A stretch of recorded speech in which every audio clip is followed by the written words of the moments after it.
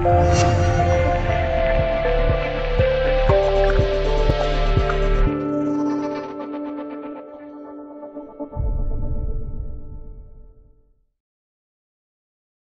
果手机一直是机皇的存在，几乎没有任何手机能与它相比。无论是外形、颜值和性能上，从乔布斯时代就已经震惊世界，吸引了无数的果粉。但是如今，国产安卓机器外观、颜值、性能也都完全不逊色苹果。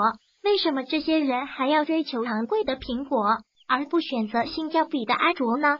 网友称：“是你根本不了解 iPhone。”其实这里面有很多原因。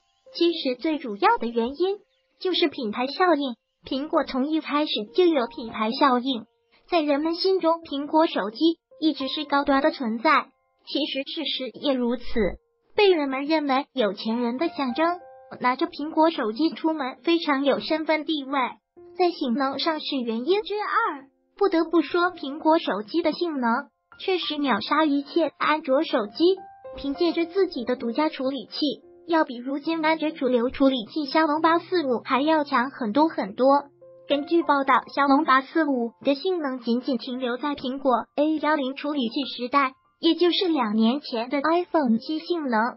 还有就是颜值的问题，都知道去年的 iPhone X 吧，全面屏非常美丽，屏占比也是达到了新高度，并且引来了国产大量模仿刘海屏幕、玻璃机身、金属中款。竖排双摄，模仿毕竟是模仿，整不好还被人们认为山寨 iPhone X，更为掉面子，还不如买个首发外挂。最后就是 iOS 系统了，手机系统就分为两大厂商，一是安卓，二就是 iOS，苹果独家系统，不经过苹果认证的软件是安装不到苹果手机上的，大大增加了稳定性，并且长时间用机。都不会出现卡顿现象，这就是为何人们都喜欢用 iPhone 而不喜欢用安卓的原因了。